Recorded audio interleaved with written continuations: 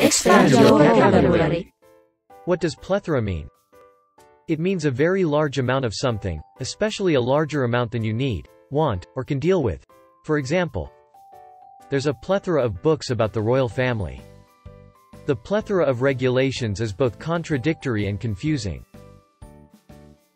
Here are some more sentences using the word plethora.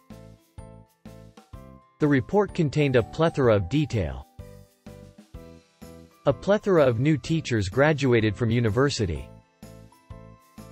The City of London faces a plethora of problems. We gave her a plethora of gifts and wished her a happy birthday. He knows a plethora of extraneous facts about dinosaurs. The school had a plethora of policies that needed to be read before joining. Here are some alternative words for plethora. Excess. Superabundance. Plenitude. Oversupply. Surplus. Profusion. Deluge. Feast.